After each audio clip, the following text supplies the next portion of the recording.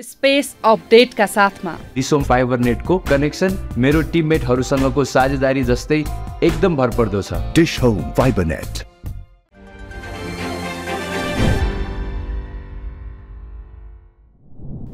सरकार सञ्चालनको आधार मानिने साझा कार्यक्रम सार्वजनिक नहुँदा डेलिभरीमा समस्या। संविधान संशोधनदेखि सुशासन कायमसम्मका एजेन्डा तय गरेका दलहरूले लिखित रूपमा साझा कार्यक्रम भने सार्वजनिक गर्न सकेनन्। गृह कार्य गरेर कार्यक्रम तय गरेको हुनाले ढिला भएको सत्तापक्ष दलहरूको दाबी। बङ्गलादेशमा रहेका नेपाली विद्यार्थीलाई सतर्कता अपनाउन बङ्गलादेश स्थित नेपाली राजदूतावासको आग्रह। कोटा विरोधी आन्दोलन पुनः हिंसात्मक बनेपछि दूतावासको सूचना जारी। नेपाल फर्किन चाहनेलाई दूतावाससँग समन्वय गरेर सुरक्षा प्रबन्ध सुनिश्चित भएपछि मात्रै यात्रा गर्न अनुरोध। कर्णाली प्रदेशका मुख्यमन्त्री यामलाल कौडेलले पाए प्रदेशसभामा विश्वासको मत। चालिस सदस्यीय प्रदेशसभामा सभामुख बाहेक सैतिसजना उपस्थित भएकोमा कौडेलको पक्षमा तेइस र विपक्षमा चौध मत। सुदूरपश्चिम प्रदेशका नवनियुक्त मुख्यमन्त्री कमल बहादुर शाहले लिए पद तथा गोपनीयताको शपथ। शपथ ग्रहण लगत्तै मन्त्री परिषद विस्तार नेपाली कङ्ग्रेसका दुई एमालेबाट तीन र नागरिक उन्मुक्ति पार्टीबाट एकजना मन्त्री र कङ्ग्रेसबाट दुई र एमालेबाट एकजना राज्य मन्त्री नियुक्त। नवनियुक्त मन्त्री तथा राज्य मन्त्रीहरूले पनि लिए शपथ। धरानमा वृद्धि गरिएको खानेपानीको शुल्क र महसुल कार्यान्वयन नगर्न खानेपानी सरसफाई सेवा महसुल निर्धारण आयोगको निर्देशन।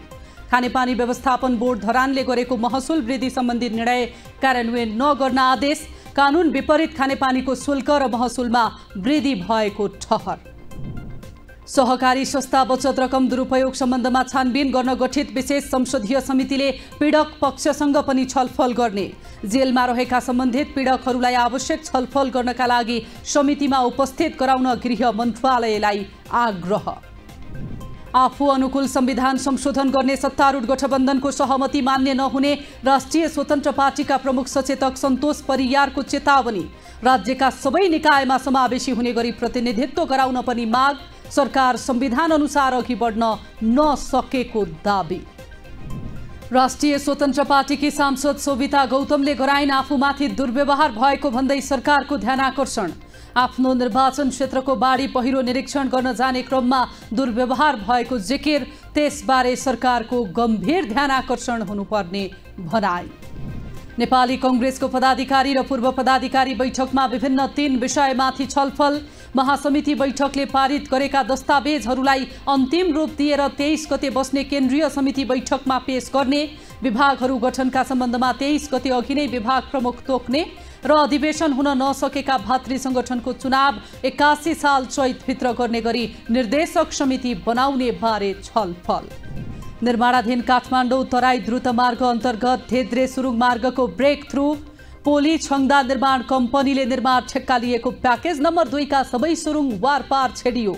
आयोजनाको समष्टिगत प्रगति भने पैँतिस दशमलव तिन आठ प्रतिशत दुई हजार त्रियासी सालभित्र द्रुत मार्ग निर्माण सम्पन्न गर्ने सेनाको घोषणा। नेपाल विद्युत प्राधिकरणका दुई सञ्चालकलाई बर्खास्त गरेकोमा नेकपा माओवादी केन्द्रको आपत्ति नियम उल्लङ्घन गरेर सदस्यद्वय कपिल आचार्य र भक्तबहादुर पुनलाई हटाइएको सरकारको दावी। सरकार अधिनायकवादतर्फ उन्मुख भएको आरोप लेखा समितिको नेतृत्व विपक्षी दललाई दिन माग। मुलुकभर हैजा सङ्क्रमितको सङ्ख्या सत्ताइस पुग्यो सबैभन्दा बढी ललितपुरमा सोह्रजना। काठमाडौँमा एक कैलालीमा आठ र प्युठानमा दुईजनामा हैजा पुष्टि।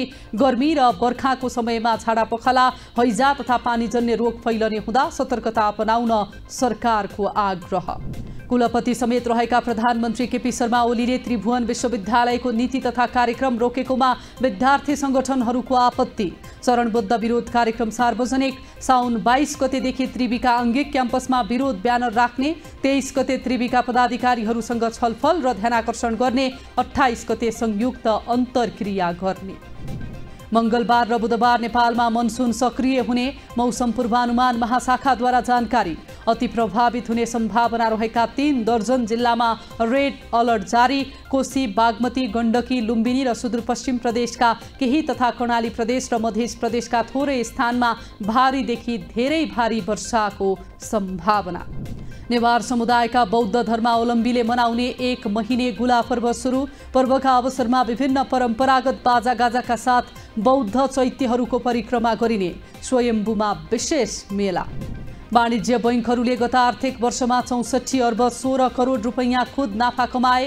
सञ्चालनमा रहेका बिस वाणिज्य बैङ्कहरूको नाफा अघिल्लो आर्थिक वर्षको सोही अवधिको तुलनामा तेह्र दशमलव चार शून्य प्रतिशत बढी। सबैभन्दा बढी नाफा कमाउनेमा नबिल बैङ्क सबैभन्दा कम नाफा कमाउनेमा माछा पुष्टे बैङ्क सेयर बजार परिसूचक नेप्से चालिस दशमलव सात छ अङ्कले बढेर सत्ताइस सय नौ छ बिन्दुमा। एक्काइस अर्ब छयासी करोड रुपैयाँ बराबरको सेयर किनबेच एक सय त्रिसठी कम्पनीको मूल्य बढ्दा अठहत्तर कम्पनीका लगानीकर्ताले गुमाए। नेपालको प्रादेशिक तथा स्थानीय सडक सुधारका लागि विश्व बैङ्क र नेपाल सरकार बीच सम्झौता एक सय मिलियन अमेरिकी डलर बराबरको वित्तीय सम्झौता भएको जानकारी आयोजनाभित्र दुई सय किलोमिटर प्रादेशिक र स्थानीय सडक निर्माण तथा स्तरोन्नति हुने। काभा वुमन्स भलिबल नेसन्स लिगमा मालदिप्सलाई सोझो सेटमा हराउँदै नेपाल सेमी फाइनलमा प्रवेश जितसँगै सेमी फाइनलमा नेपालको भेट इरानसँग पक्का। सेमी फाइनल खेल मङ्गलबार हुने पहिलो सेमी फाइनल तिन बजे भारत र श्रीलङ्का बीच हुँदा दोस्रो सेमी फाइनल सभा पाँच बजे नेपाल र इरान बीच हुने। विद्यार्थी आन्दोलन चर्किएपछि बङ्गलादेशकी प्रधानमन्त्री शेख हसिनाले दिइन् राजीनामा हसिना ढाका छाडेर भारत पुगिन्। प्रदर्शनमा उत्रिएका विद्यार्थी प्रधानमन्त्री निवासमा छिरे। अन्तरिम सरकार बनाउने बङ्गलादेशका सेना प्रमुखको घोषणा। हिंसा अन्त्य गर्न आग्रह।